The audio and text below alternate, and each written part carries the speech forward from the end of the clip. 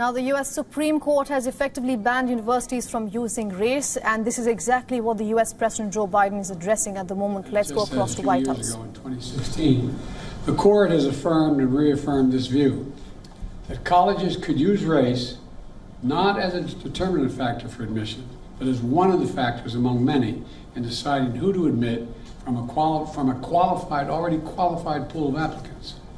Today, the court once again walked away from decades of precedent and make, as the dissent has made clear.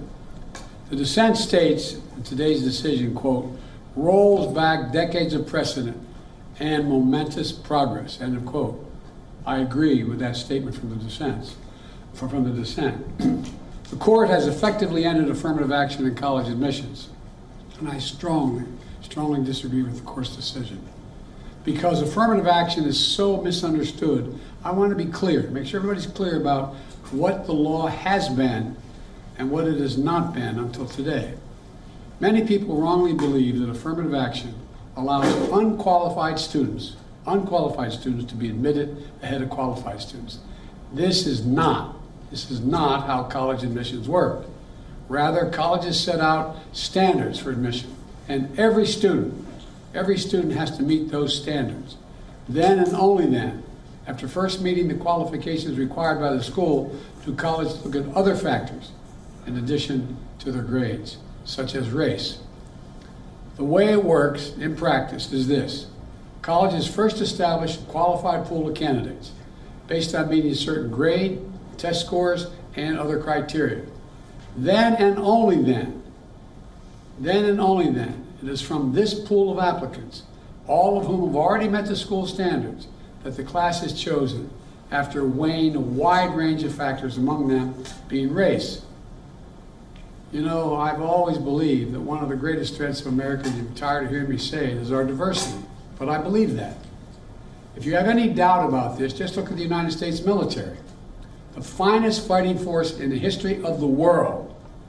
It's been a model of diversity and has not only been our, made our nation better, stronger, but safer. I believe the same is true for our schools.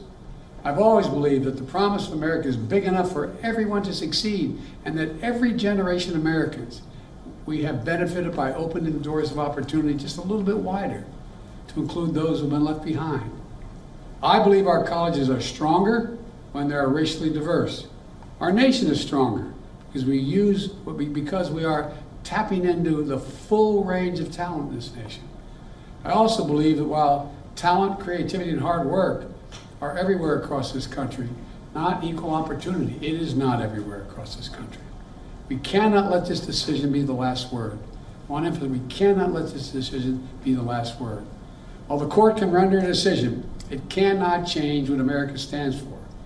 America is an idea, an idea unique in the world, an idea of hope and opportunity, of possibilities, of giving everyone a fair shot, of leaving no one behind. We've never fully lived up to it, but we've never walked away from it either. We will not walk away from it now. We should never allow the country to walk away from the dream upon which it was founded. That opportunity is for everyone, not just a few.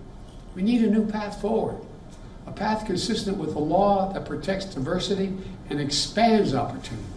So today I want to offer some guidance to our nation's colleges as they review their admission systems after today's decision. Guidance that is consistent with today's decision. They should not abandon, let me say this again, they should not abandon their commitment to ensure student bodies of diverse backgrounds and experience that reflect all of America. What I propose for consideration is a new standard where colleges take into account the adversity a student has overcome when selecting among qualified applicants. Let's be clear. Under this new standard, just as was true under the earlier standard, students first have to be qualified applicants. They need the GPA and test scores to meet the school's standards. Once that test is met, then adversity should be considered, including a lack, a student's lack of financial means, because we know too few students of low-income families whether in big cities or rural communities, are getting an opportunity to go to college. When the poor kid, when a poor kid, maybe the first in their family to go to college, gets the same grades and test scores as a wealthy kid, his whole family's gone to the most elite colleges in the country, and whose path has been a lot easier. Well, the kid who faced tougher challenges has demonstrated more grit, more determination, and that should be a factor that colleges should take into account in admissions, and many still do. It also means examining where the student grew up and went to high school. It means understanding the particular hardships that each individual student has faced in life, including racial discrimination that individuals have faced in their own lives.